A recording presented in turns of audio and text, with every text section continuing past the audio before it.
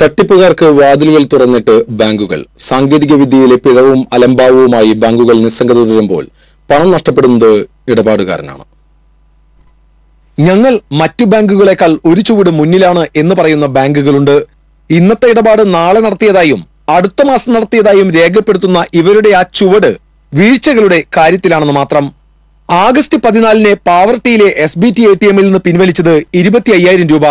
Account balance ഓൺലൈനിൽ പരിശോധിച്ചപ്പോൾ ഇടപാട് നടത്തിയതായി കാണിക്കുന്നത് ആഗസ്റ്റ് പതിനഞ്ചിനും ഈ രീതിയിലാണ് ബാങ്കുകളുടെ സാങ്കേതിക മുന്നേറ്റം.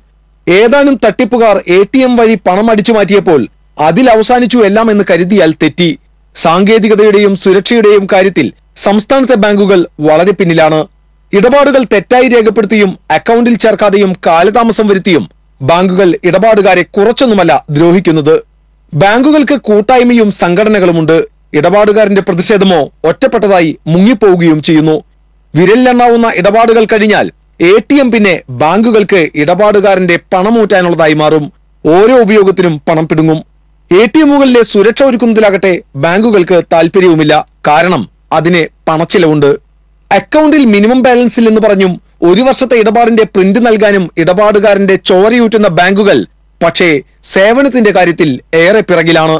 ബാങ്കുകൾ വഴി ഇടപാടുകൾ നടത്തുന്നവർ ഇടപാടുകൾ തുടർച്ചയായും കൃത്യമായും നിരീക്ഷിക്കുന്നത് അനിവാര്യമായിരിക്കുന്നു. ഇല്ലെങ്കിൽ പണം നഷ്ടപ്പെട്ടേക്കാം. ബാങ്കുകളുടെ കണ്ണുകൾ ഇപ്പോൾ സേവനത്തിലല്ല പണത്തിൽ മാത്രമാണ്. T C V Thrissur.